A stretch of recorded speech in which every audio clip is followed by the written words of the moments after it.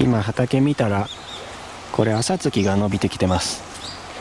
毎年思うんだけど朝月って出てくるのがすごく早くてもう3月ぐらいになったら他の山菜とか野菜がほとんど出てない時でも出ててこれ多分もう3月初めぐらいから伸び出してたと思うんだけど今こんな感じです。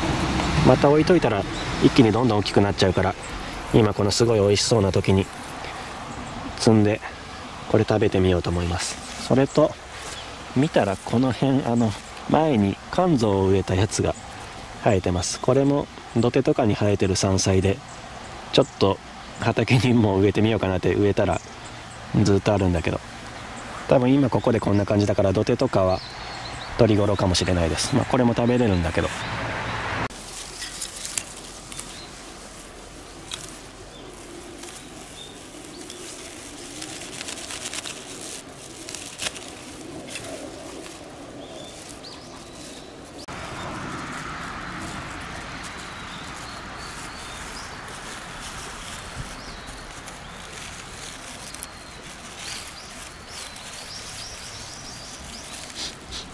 あこの断面がやっぱネギみたいな。ネギよりかはちょっと野生的な感じの匂いです。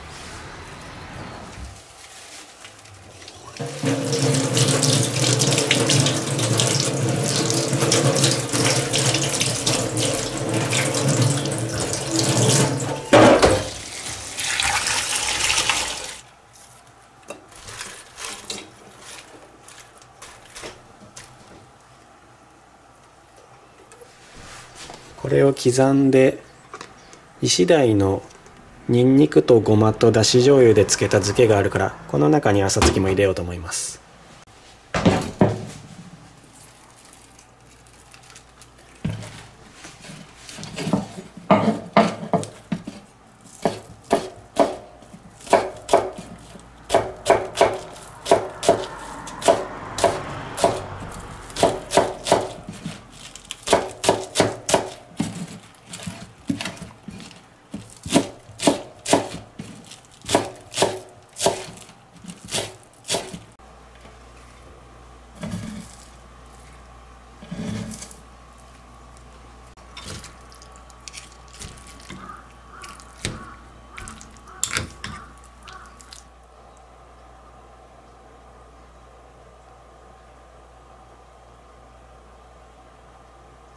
一旦蓋して冷蔵庫に入れときます。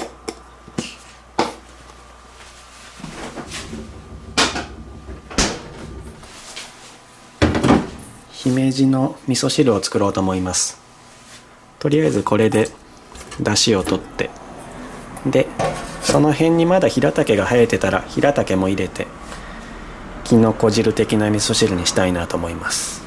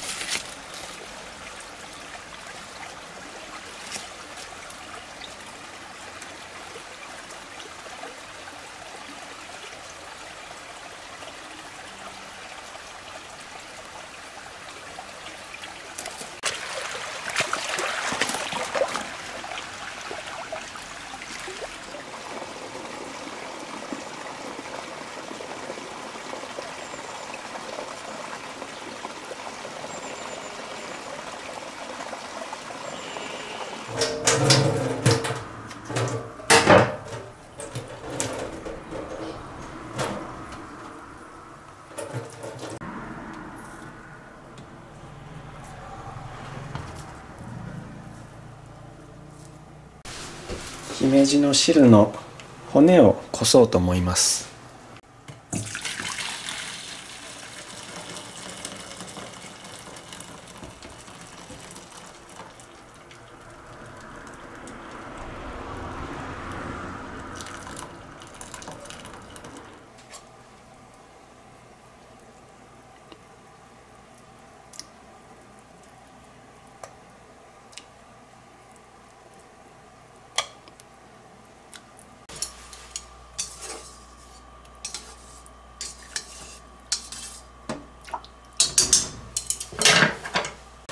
そしたらまただしを戻して。で姫路の残りの実も入れて。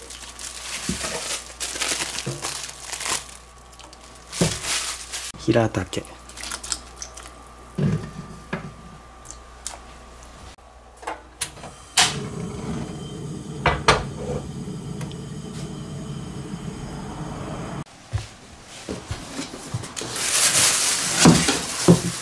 じゃがいもも入れてみようか。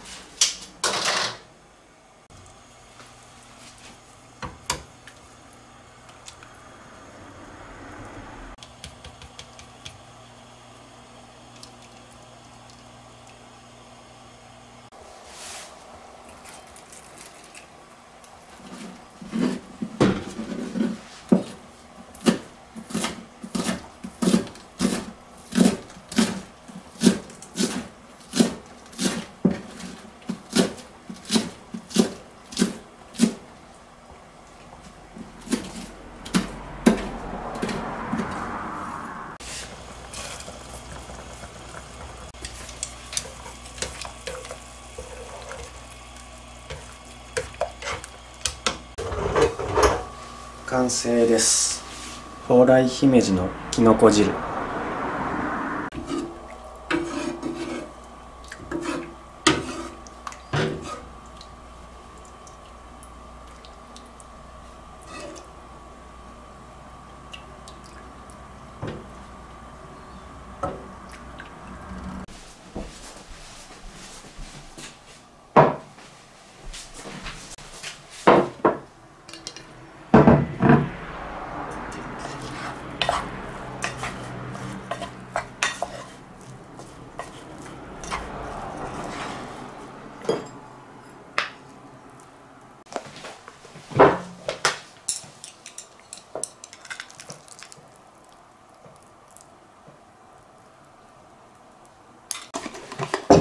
であの前に作った梅干し。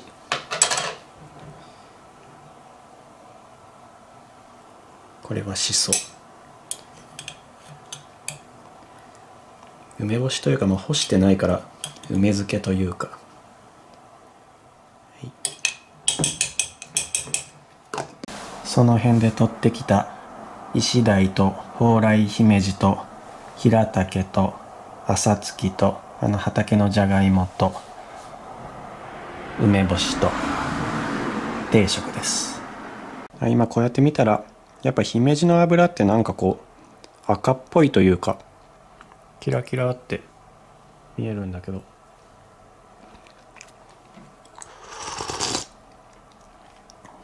うん。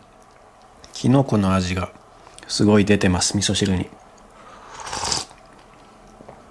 食べたことない味。すごいきのこの味が強くて。あと姫路もなんかすごい出汁が出てて。うん。食べたことない味です。美味しい。平竹この前バターソテーにした時よりかはこの味噌汁でこう茹でられたら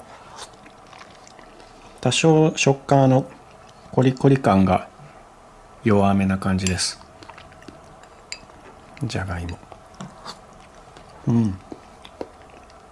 じゃがいも美味しい。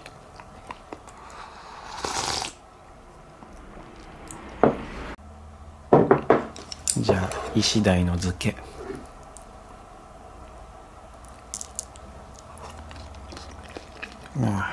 美味し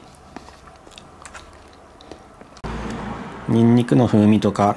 この朝月のこうネギっぽい感じの匂いとかごまとかがすごい合ってて、まあ、とにかく美味しいです。やっぱ石鯛の漬けはもう間違いない感じです。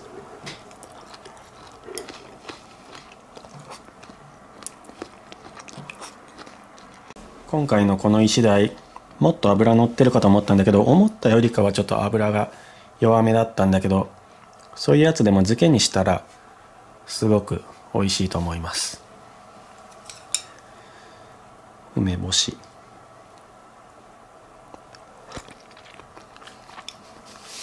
酸っぱい。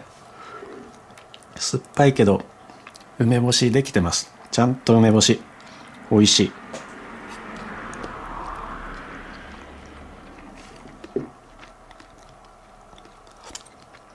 梅干し初めて作ったけどただ要は塩につけるだけみたいな感じで自分であのなってる梅を取ってきてこんな風にちゃんとできるっていうのがやっぱ嬉しいしすごいなって思います。あとこれなんか料理にいろいろ使っても良さそうです。塩分が結構高いからお茶漬けにしたりとかこうペーストにしてこう炒め物にしたりとか何かいろいろできそうです。梅肉ソースとか。これに熱いだしとかお湯かけてお茶漬けにしても美味しそうだけどウコッケの卵いっぱいもらってるから卵のせよ黄身を。